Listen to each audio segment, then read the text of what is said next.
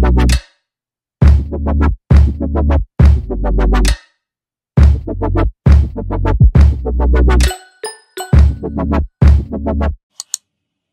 guys and welcome to my channel Talking with Timaiah. If you're new here, make sure you guys hit that subscribe button. And if you're a returner, as always, thank you guys so much for your love and support. Before I even get into this video, let me just say something to y'all, okay? I have been going through my analytics. A lot of you guys are returners and I appreciate that. Oh, I love you. But you do not subscribe. Do you know that adversely affects me.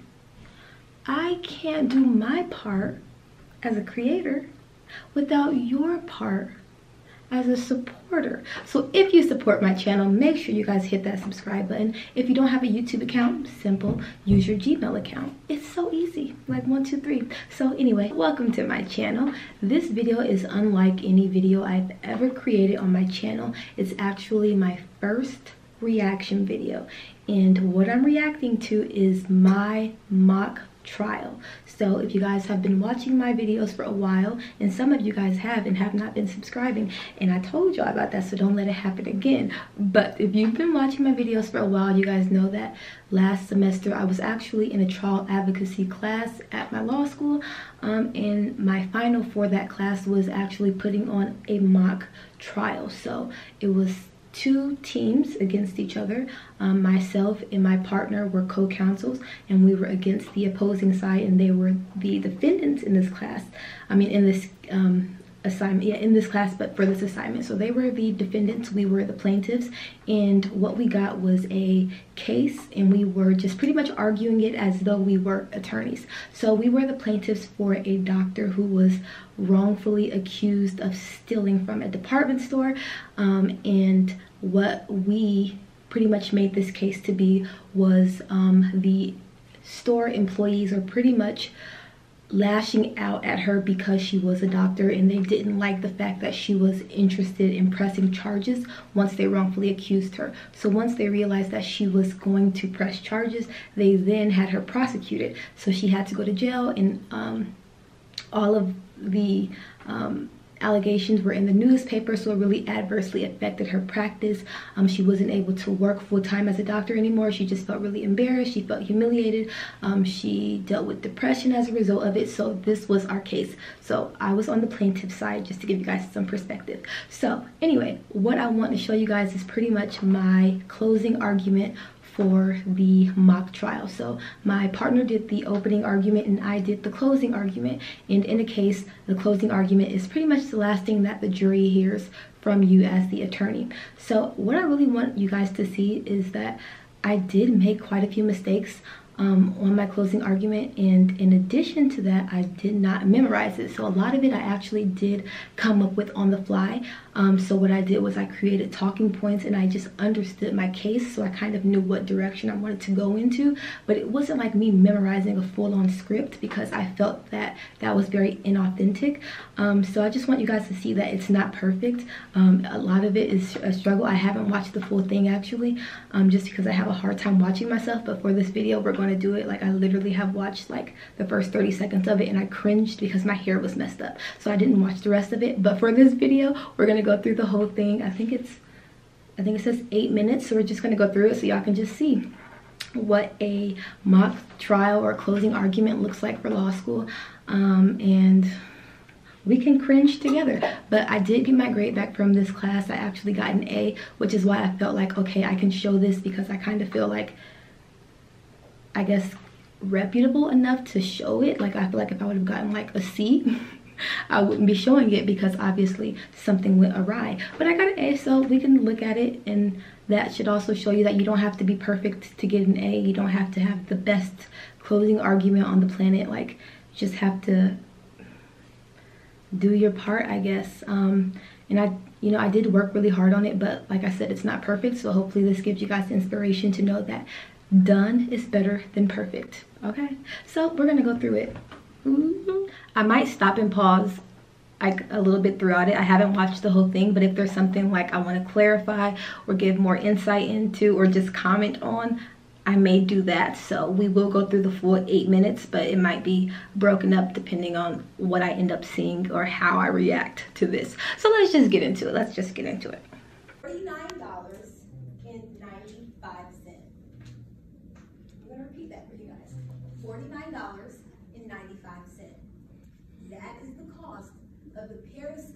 Bottle that you have seen on the screen several times today. $49.95. So, the defendants here in this case want you to believe that Dr. Adams sacrificed her freedom, her reputation, and her livelihood as one of the most prominent doctors. Okay, I'm gonna pause it right here. I'm gonna pause it right here. So when I said her whatever, her whatever in her livelihood, that is called a trilogy. And if you're someone who's preparing for like a mock trial for your class or whatever, closing argument or an opening argument, um, trilogies are something that's really appealing in the courtroom. My professor heavily emphasized the use of trilogies. Um, it just sounds good. It sounds complete.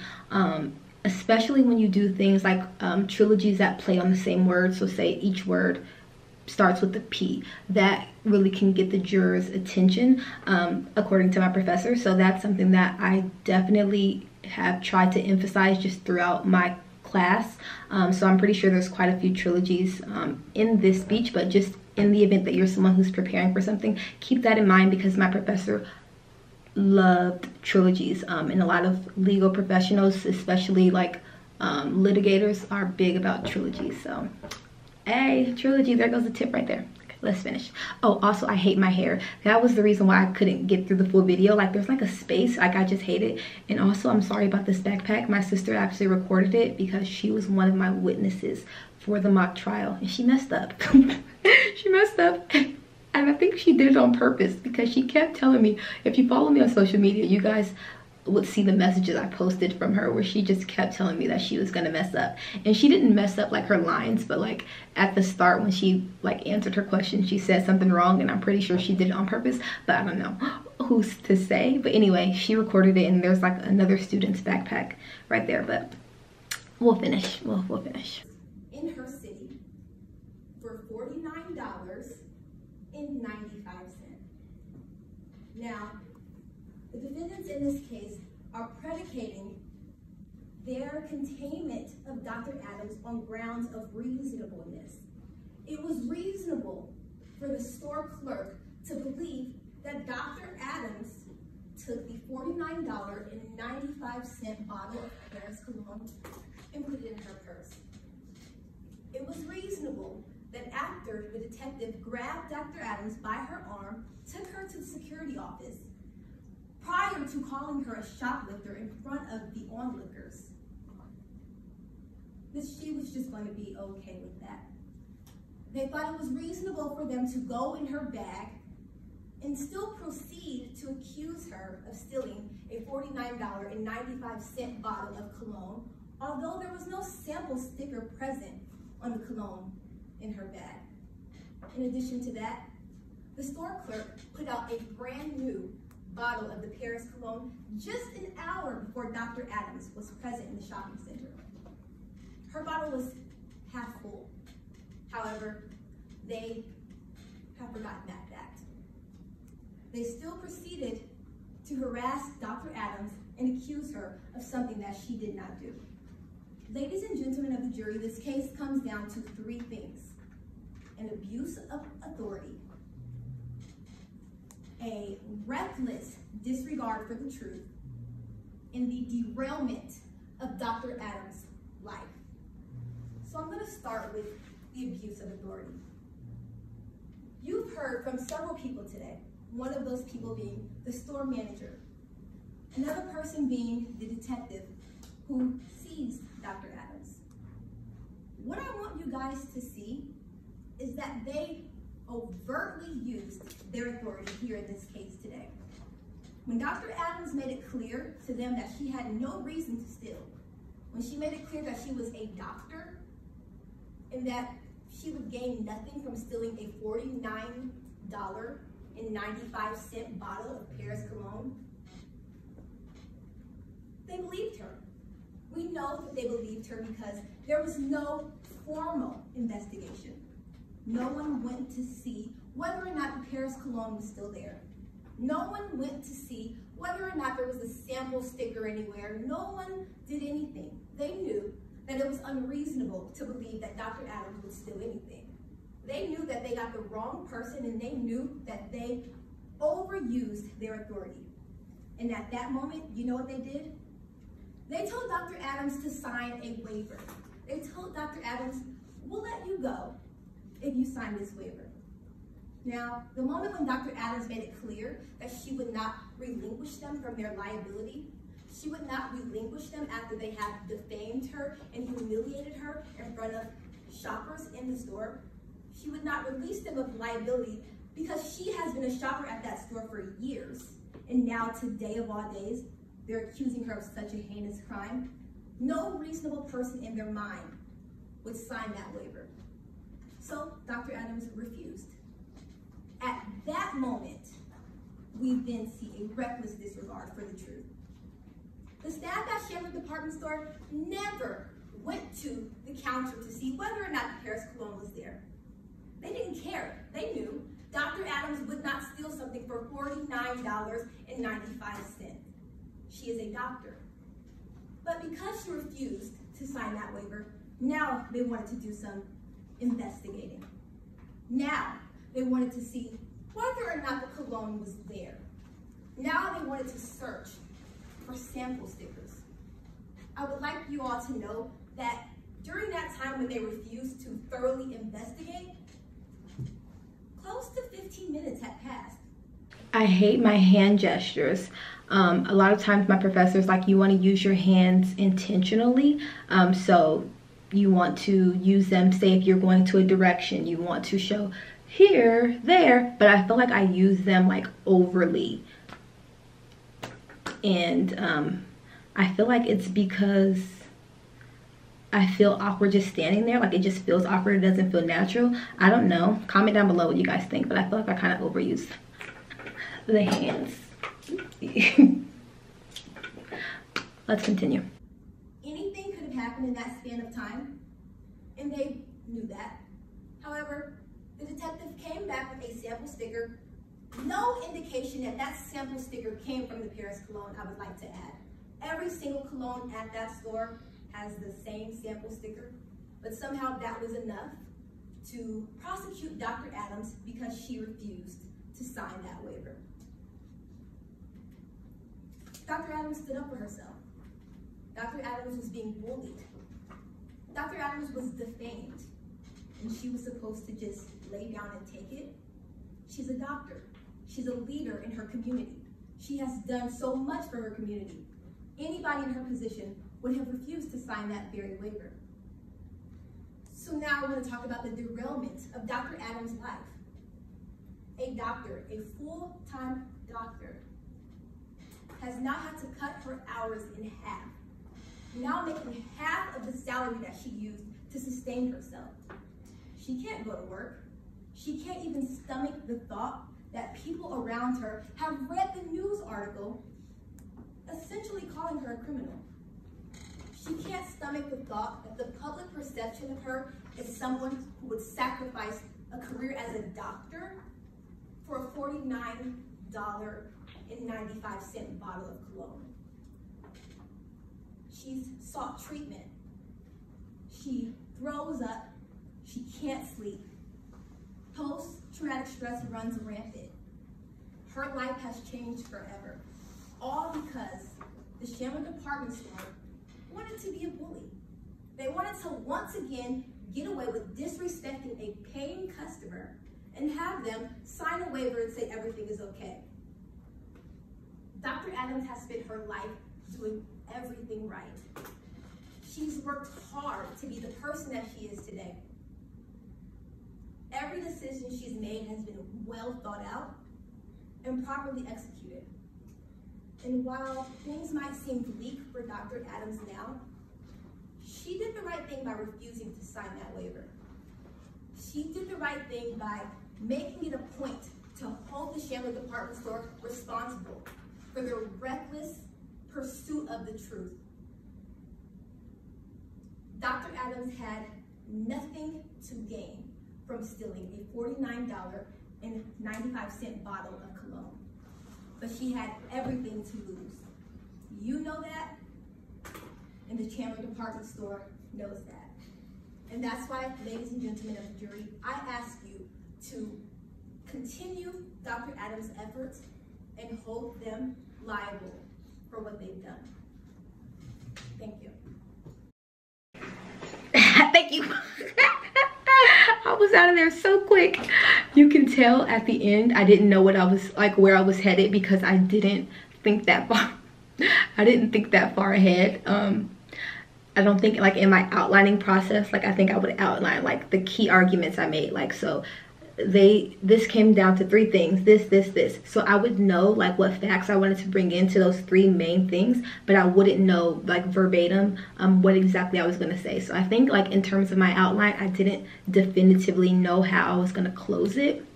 But anyway that's what we did. So my criticisms my hand gestures i hate them. Also my facial expressions because the case that we were dealing with was one that honestly was just hostile and just an abuse of authority. I think that I, I came off very snarky and sarcastic um, because I am that way. but I don't want that to come across in the courtroom. So I need to work on like my um, facial expressions because my my facial expressions are very condescending. And I'm not condescending, but I am sarcastic. Um, and I am uh, those are pretty valid facial expressions. I think I use those in my day-to-day -day life. So I think I just need to like tone it back on the facial expressions.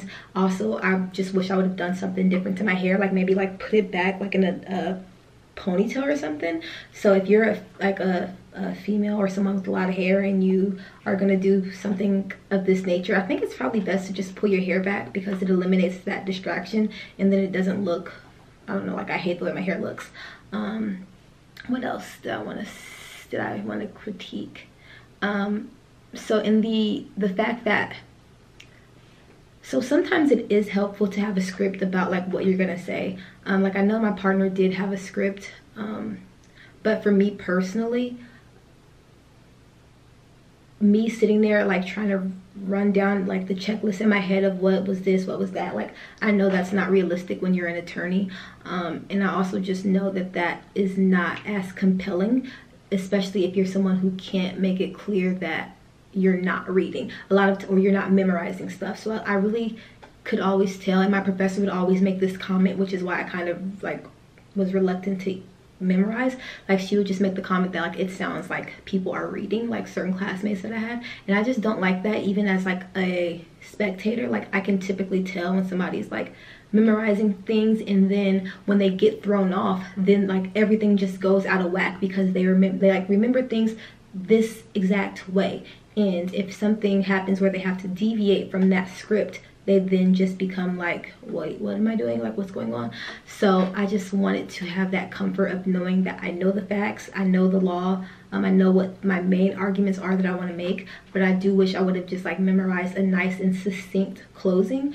Um, because one thing my professor always tells us is to start with a bang. So start with something that's just going to grab their attention. Um, whether it's like viewers or the jury or whatever you're doing you start with a bang um, and then end with a bang. Um, so I think I started with a bang by just like emphasizing the amount that the cologne um, cost but I don't think I ended with a bang just because it was like oh you guys help us continue her efforts so I don't know it was kind of like BS but aside from that I think I did really well um, and I did take it really seriously. Honestly, I know my partner was like, girl, if you don't leave me alone, because I just took it really seriously, like the entire trial, because we literally did a full trial. Like we did jury selection where we would ask the jury questions um, and determine like who would be our jurors and who wouldn't. We did um, motions in limine where we told the judge like this is the motion that we want to bring this is what we want to admit this is what we want to exclude in terms of evidence. Um, we did um, direct examinations we did cross examinations of the defendant's witness um, and then opening arguments and closing arguments. So it was a lot like it was a substantial amount of work. And then we also created a trial binder where we put like all of our questions, all of our just pretty much the everything that we needed for our trial. And that was what we submitted. And we're done. Now I'm done. And I got an A and I'm really happy with my grade. Um, and I'm done with that class. And I really learned a lot. So I'm really happy that I took that class. If you guys are in law school and you have the option to either do some type of like mock trial or do some type of um, like moot court or anything like that, um, I really, I really do recommend just giving it a try just so that you can gain that courtroom experience.